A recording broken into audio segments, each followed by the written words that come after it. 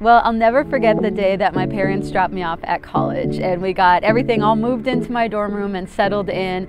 Uh, my roommate went off to Target to get some needed supplies. My parents said goodbye, and I remember sitting in my cute little chair in my cute little dorm room, and I had this sinking feeling in my stomach when I realized I don't know anybody here. and it would lead me on this quest to make friends and make friends quickly. But that feeling is real. And I think there's a surprising reason that some of us feel lonely today. So let's talk about that from a biblical perspective and what you can do. It is a beautiful day. I am squinting at you. I'm going to put these on and let's talk about connection. I, as I was digging into this topic, I read a couple of books that I'm going to put in the notes below that I'll reference, but there is some amazing science about our need for connection and our need for other people. One of the most important things that I came across was we have this hard wiring to be connected uh, for physical safety and also for emotional and social well being. But that need for physical safety in numbers actually causes us not to sleep well and to have this higher stress hormone happening in our bodies when we're alone. And so it's so significant to us physically that the risk of dying prematurely is greater if you're experiencing loneliness than if you were experiencing obesity or smoking 15 cigarettes per day.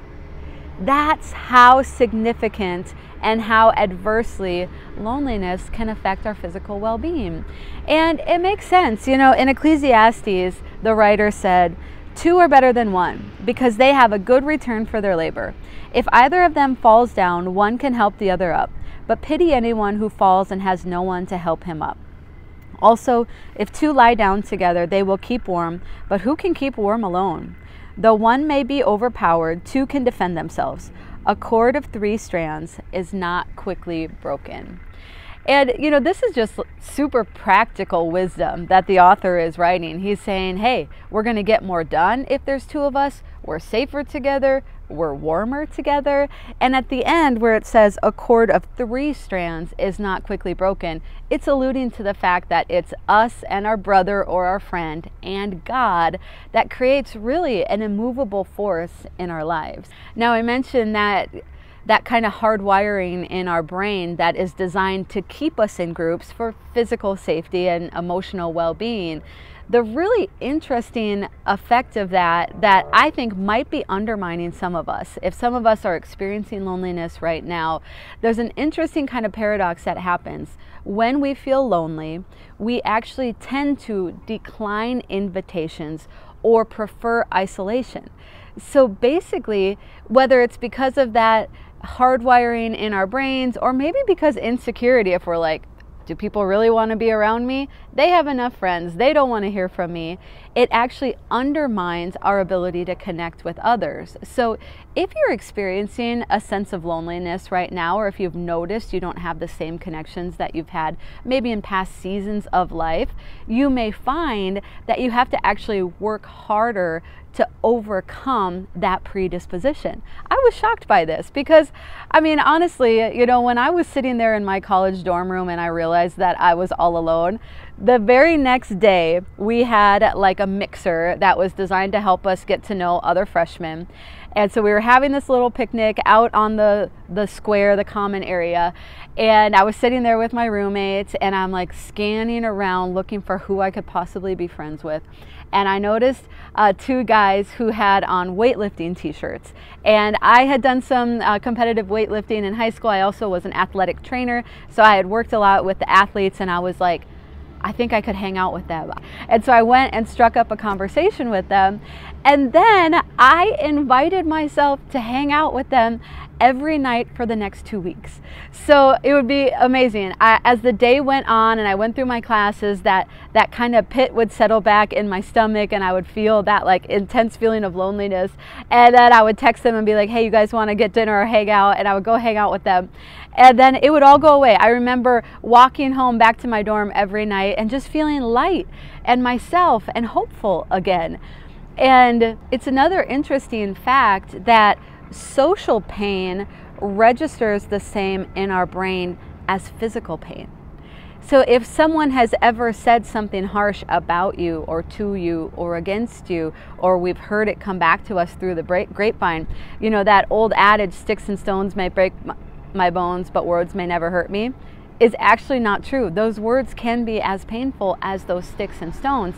So again, we might have some things to overcome in our life, but I think there's so many instances in the Bible, and also again looking at this just from a scientific perspective, that encourages us to persevere, to overcome, and to choose relationships in our life. This is Romans 12. Uh, 9 and on. It says, Love must be sincere. Be devoted to one another in love.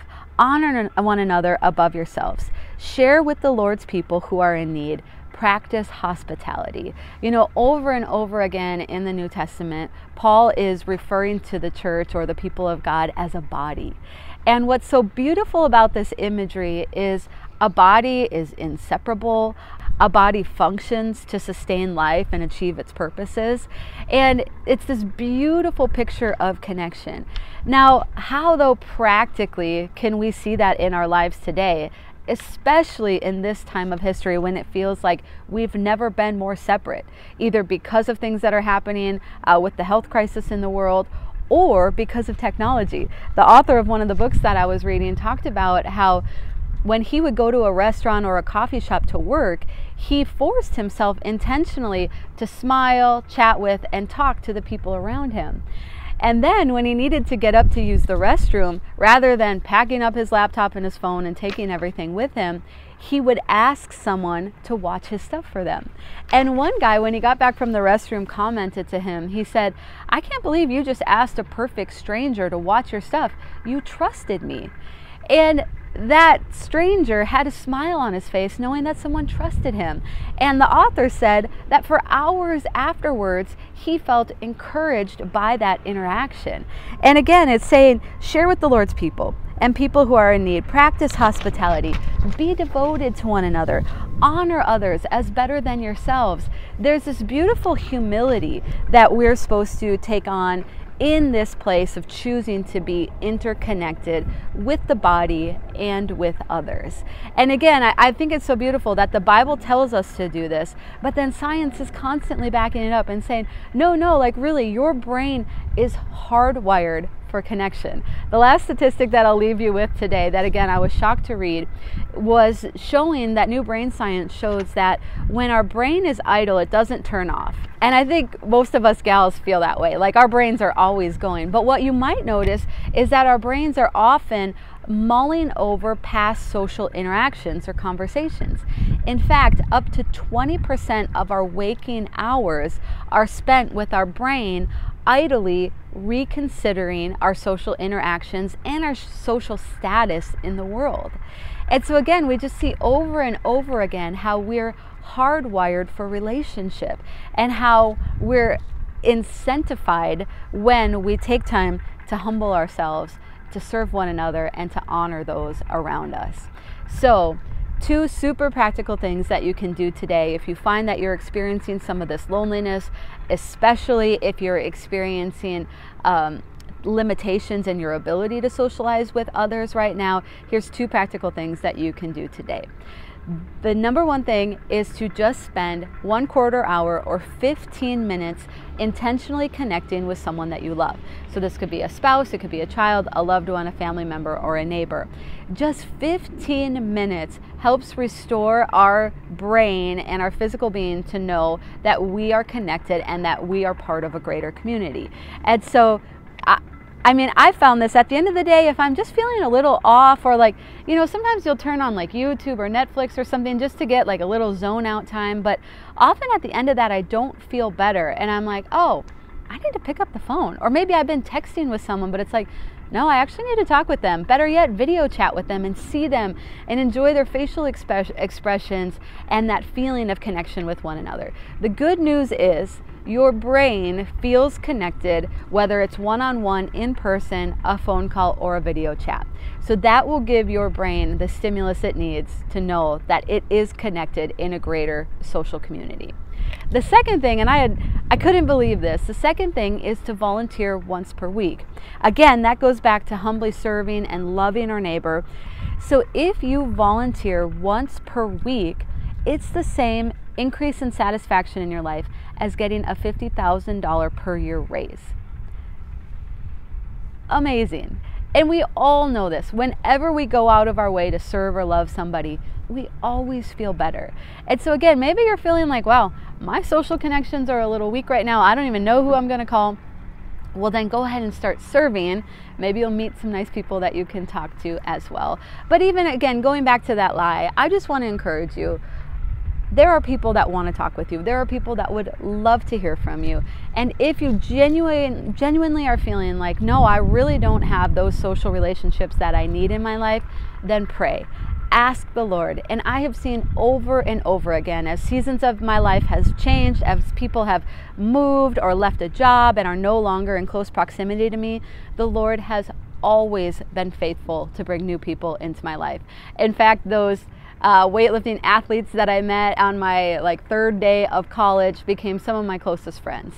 And so I would encourage you. Sometimes we have to go a little bit out of our comfort zone and understand that your brain right now might be saying, "No, we're feeling isolated. We want to maintain that." It's a weird paradox that our brain does. It's sort of a safety mechanism. You might have to overcome that. You might have to ask the Lord to help you, but I promise that He will be faithful to lead you into connection and community. So, Father, I pray right now, Lord, would you help each one of us to strengthen our social relationships, Lord?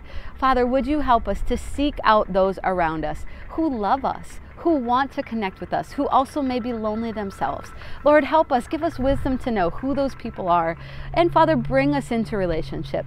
Bring us into relationship with your body, with others who love and are passionately serving and worshiping and going after you. Bring us into ones who, in community with ones who need us, who need our love and our service and our care. Ultimately, Lord, help us as a body to be strengthened, that we would be strengthened in our love for you, we would be strengthened in our worship, and we would be strengthened in preaching your word, your name, and bringing others into your salvation. So I bless each one of us now in Jesus' name. Amen.